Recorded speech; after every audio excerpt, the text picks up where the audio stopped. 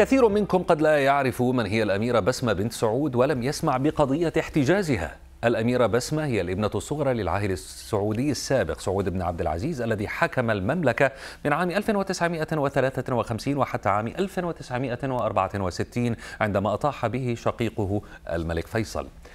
هي كاتبة وناشطة حقوقية عرفت بأنها داعية بارزة للتغيير والإصلاح الدستوري في المملكة لكن آراءها لم تكن دائما تتماشى مع نهج العائلة المالكة. ها هي مثلا تتحدث لبرنامج بلا قيود منذ عامين تقريبا عن التغييرات التي تشملها رؤية ولي العهد محمد بن سلمان. أنا أؤمن بالتدرج. أؤمن بالسيا... بالدبلوماسية.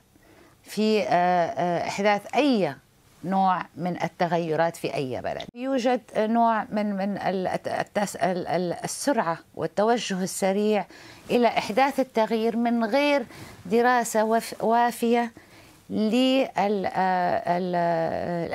المحلية. هذا اللقاء كان في من أواخر اللقاءات الإعلامية التي ظهرت بها. بعدها بعدة أشهر اختفت الأميرة عن الأنظار ثم ظهرت تقارير غير مؤكدة. هذه إحداها على موقع ديتشي فيلي الألماني. يرجح أن الأميرة راهن الإقامة الجبرية في الرياض بعد محاولتها السفر من البلاد بصحبة ابنتها في مارس آذار العام الماضي.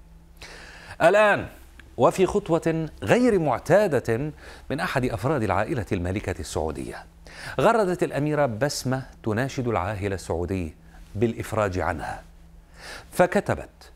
هذا ما كتبت. أناشدك عمي الملك المفدى سلمان بن عبد العزيز آل سعود أطال الله بعمرك. وولد عمي صاحب السمو الملكي الأمير محمد بن سلمان ولي العهد. من أين تناشدهما؟ من الإقامة الجبرية؟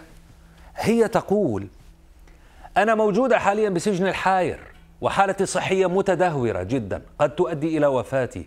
ولم أحصل على أي عناية طبية أو استجابة لأي طلب. لا أعلم إذا كان لديكم علم بوجودي بالسجن لغاية الآن مع ابنتي سهود الشريف. الرجاء النظر بأمري لإطلاق سراحي وتلقي العلاج المناسب. سجن الحائر الذي تتحدث عنه الأميرة هو هذا وهو أكبر السجون السعودية ومعظم نزلائه مدانون في قضايا إرهاب أو سجناء سياسيون.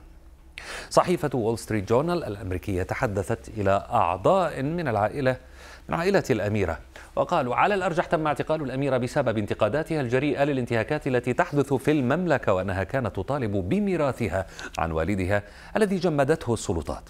يعتقد أن هذا الميراث يشمل مليارات الدولارات فضلا عن الأراضي والبيوت والمجوهرات. حتى الآن لم تصدر السلطات السعودية أي تعليق على قضية الأميرة أو ما كتبته في تغريداتها. بل اختفت هذه التغريدات من حسابها على تويتر منذ بضع ساعات. إذا دخلتم على هذا الحساب ستجدون آخر تغريدة لها كانت في تموز يوليو العام الماضي.